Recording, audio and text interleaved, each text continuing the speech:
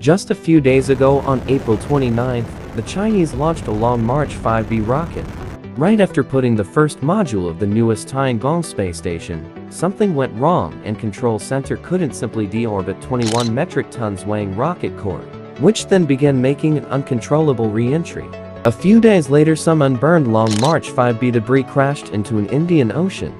However, this wasn't the last time China went into space. To construct the space station, China will need to make 10 more missions, like we've seen a couple of days ago.